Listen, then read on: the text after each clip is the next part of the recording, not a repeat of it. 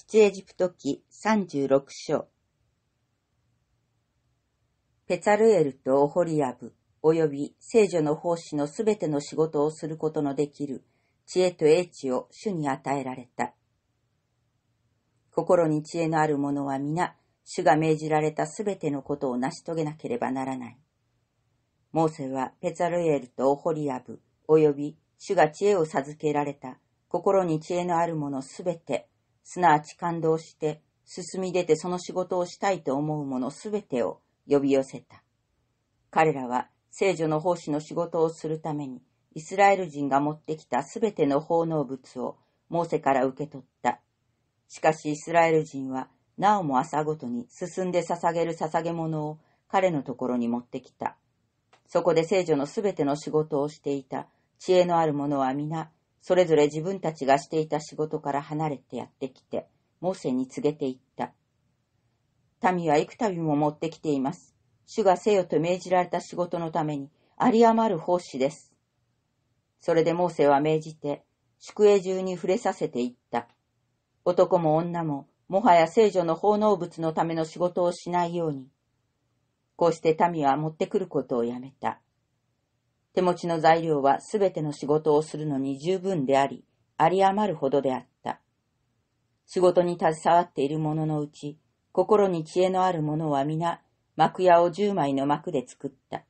より糸で折った雨布、青色、紫色、黄色のより糸で作り、巧みな細工でケルビムを織り出した。幕の長さは、おのおの28キュピト、幕の幅はおのおの4キュピト、幕は皆同じ寸法とした。五枚の幕を互いにつなぎ合わせ、また他の五枚の幕も互いにつなぎ合わせた。そのつなぎ合わせたものの端にある幕の縁に青い紐の輪をつけた。他のつなぎ合わせたものの端にある幕の縁にもそのようにした。その一枚の幕に輪五十個をつけ、他のつなぎ合わせた幕の端にも輪五十個をつけ、その輪を互いに向かい合わせにした。そして金の留め金五十個を作り、その留め金で幕を互いにつなぎ合わせて一つの幕屋にした。また幕屋の上にかける天幕のためにヤギの毛の幕を作った。その幕を十一枚作った。その一枚の幕の長さは三十キュピト。その一枚の幕の幅は四キュピト。その十一枚の幕は同じ寸法とした。この五枚の幕を一つにつなぎ合わせ、また他の六枚の幕を一つにつなぎ合わせ、そのつなぎ合わせたものの端にある幕の縁に輪五十個をつけ、他のつなぎ合わせた幕の縁にも輪五十個をつけた。また、聖堂の留め金を五十個作り、その天幕をつなぎ合わせて一つにした。また天幕のために赤くなめしたお羊の皮の覆いと、ジュゴンの皮でその上にかける大糸を作った。さらに幕屋のためにアカシア材でまっすぐに立てる板を作った。板一枚の長さは十キュピト、板一枚の幅は一キュピト半であった。板一枚ごとにはめ込みの補助二つを作った。幕屋の板全部にこのようにした。幕屋のために板を作った。南側に板二十枚、その二十枚の板の下に銀の台座40個を作った。一枚の板の下に二つの細に二個の台座、他の板の下にも二つの細に二個の台座を作った。幕屋の他の側、すなわち北側に板二十枚を作った。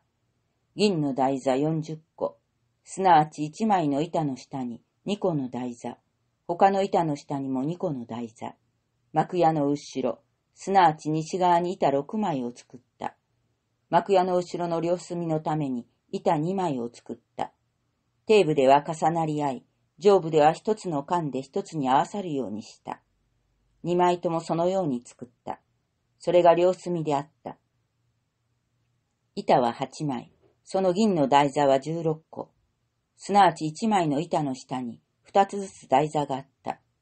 ついでアカシア材で横木を作った。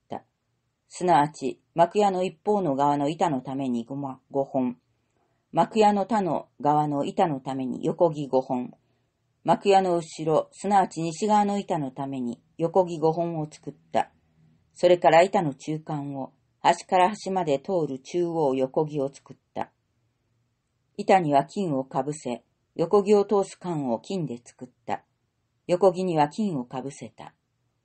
ついで、青色、紫色、黄色のより糸、より糸で折った雨布で垂れ幕を作った。これに滝胸細工でケルビミを織り出した。そのため、アカシア材の四本の柱を作り、それに金をかぶせた。柱の鍵は金であった。そしてこの柱のために銀の四つの台座を鋳造した。